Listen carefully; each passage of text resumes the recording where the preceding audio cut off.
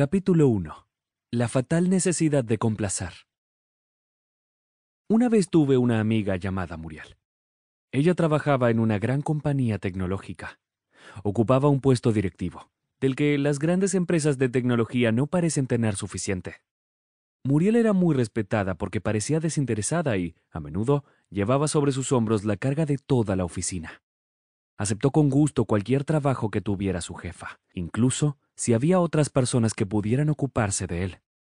De hecho, a veces Muriel aceptaba trabajos de supervisores además del suyo propio. Solo estoy tratando de ayudar, decía. Muriel tenía la costumbre de ir más allá de su deber. Trabajaba duro para acomodar a tantas personas como conocía. Se hacía cargo de las presentaciones en las que los demás tenían dificultades. Se quedaba hasta tarde al menos dos noches a la semana. Tal vez dos veces al mes salía a almorzar y se ofrecía a traer emparedados para todo su equipo. Muchas veces ni siquiera pedía que le pagaran por eso. Pensaba que tenía que convertirse en alguien invaluable para la organización. Esto era particularmente importante para Muriel porque estaba aterrorizada de quedarse sin empleo. Había pasado 22 meses sin empleo anteriormente, durante los cuales pensó que nadie la volvería a contratar. Pensó que, trabajando más duro, otras personas en la oficina la considerarían indispensable y nunca podrían reemplazarla. Pero en algún momento del camino, Muriel convirtió esa obsesión en obediencia subconsciente. No solo quería que todos a su alrededor estuvieran satisfechos y felices, también estaba petrificada de hacer algo mal. Muriel trabajaba en el departamento de mercadeo. Su trabajo consistía en sugerir y ejecutar elementos de diseño de empaque de productos que hicieran que los productos de su empresa parecieran atractivos.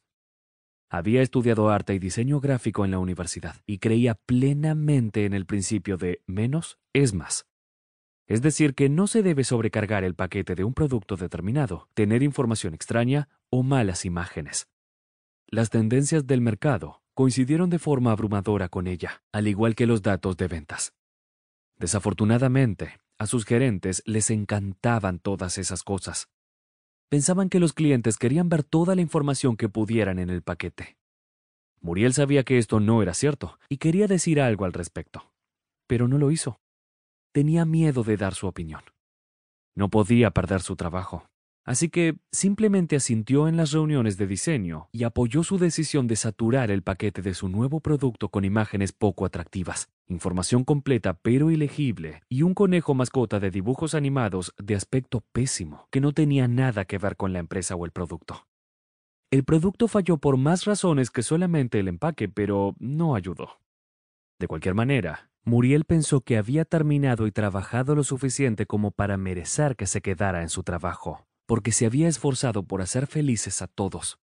Pero cuando comenzaron los despidos dos meses después de la muerte del producto, Muriel fue la primera en ser despedida. Estaba mortificada. Sintió que había hecho todo bien y se había hecho insustituible para la empresa. Cuando preguntó por qué, el Departamento de Recursos Humanos dijo que no había hecho lo suficiente para distinguirse como una contribuyente vital para la empresa.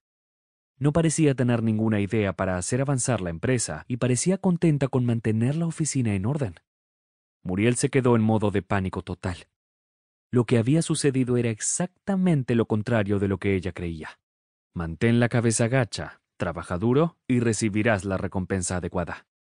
Quería que todas las personas con las que trabajaba se sintieran felices y apoyadas, pero de alguna manera fue castigada por ello. ¿Cuál fue la causa de la caída de Muriel?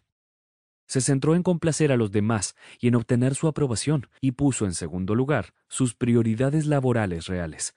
No estaba haciendo el trabajo para el que la contrataron, y solo estaba actuando para prevenir sentimientos de rechazo. En retrospectiva, no sorprende lo que le sucedió.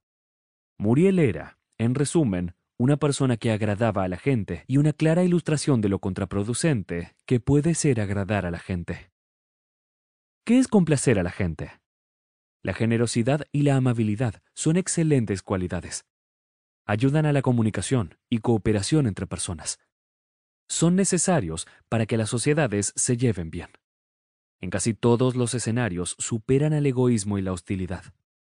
Son rasgos que se nos meten en la cabeza desde la infancia por una buena razón. Pero no confundas agradar a la gente con generosidad y amabilidad. Pueden parecer idénticos desde el exterior, pero lo que impulsa a una persona generosa frente a una persona complaciente no podría ser más diferente.